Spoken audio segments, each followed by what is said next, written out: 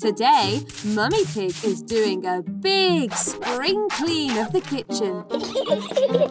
one sponge, one broom. I'm ready for the big clean. Dinosaur. I can't play with you right now, George. Sorry. We'll play with George, Mummy.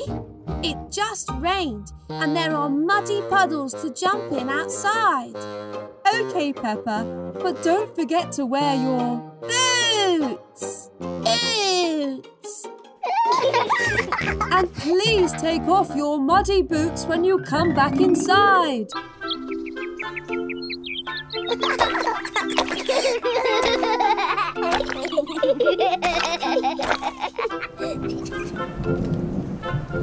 Uh-oh. Maybe we should go inside before it starts to rain too much. Good idea. Let's play hide and seek around the house. But not in the kitchen, to let Mummy clean.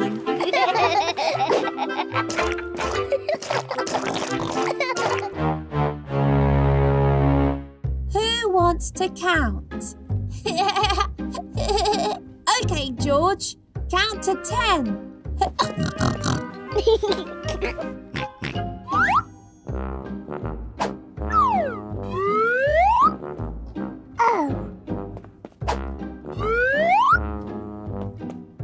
That was quick, George. Uh-oh.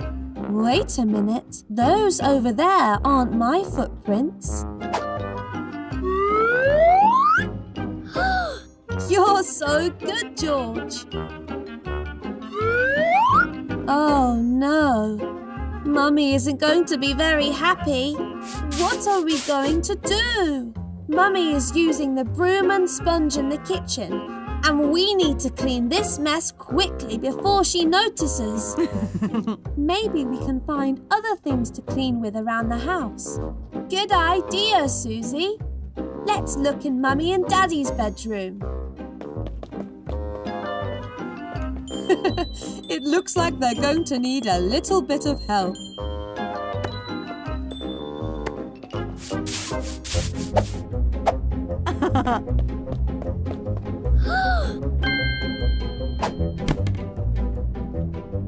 Oh.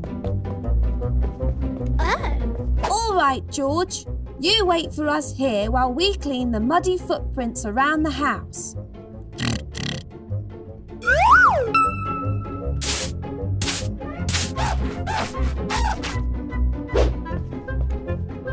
Now, we just need to clean the bedroom and we will be all done. oh no! Going on in here? Oh. We're sorry, Mummy. We forgot to take our shoes off like you said and tried to clean all the footprints. But George decided to clean in his own way. It's okay, Peppa. This is a good opportunity to learn some cleaning techniques. Let's do this together. Woohoo!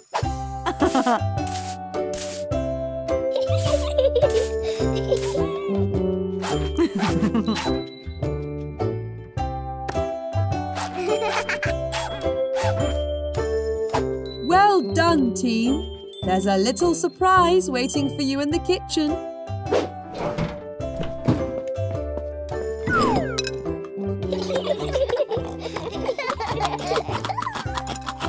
You did a really good job cleaning in the kitchen, Mummy. Cleaning is easy with the right tools. Wait a minute. You were cleaning with the sponge and the broom earlier, but we found them in the living room and in mine and George's bedroom.